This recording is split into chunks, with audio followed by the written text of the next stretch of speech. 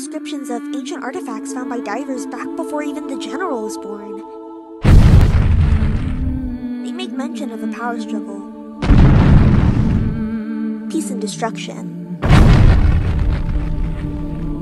It's called Godzilla, the god of death.